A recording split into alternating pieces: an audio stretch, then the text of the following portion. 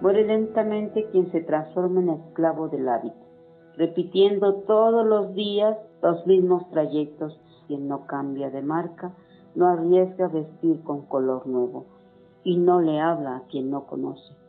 Muere lentamente quien evita una pasión, quien prefiere lo negro sobre el blanco y los puntos sobre las íes de un remolino de emociones. Justamente las que rescatan el brillo de los ojos, sonrisas de los bostezos, corazones de los tropiezos y sentimientos.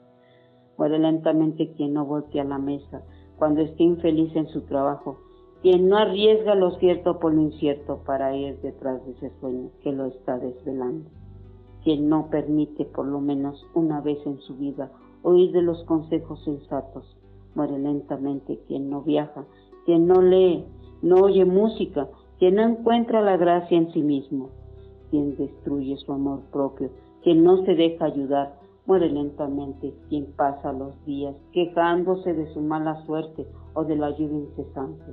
Muere lentamente quien abandona un proyecto antes de iniciar, quien no pregunta sobre el asunto que desconoce o no responde cuando lo indagan sobre algo que sabe.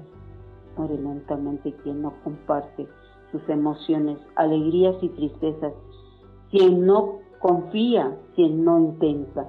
Muere lentamente quien no intenta superarse, quien no aprende de las piedras del camino de la vida, quien no ama, quien no deja de amar. Evitemos la muerte en suave cotas, recordando siempre que estar vivo exige un esfuerzo mucho mayor que el simple hecho de respirar.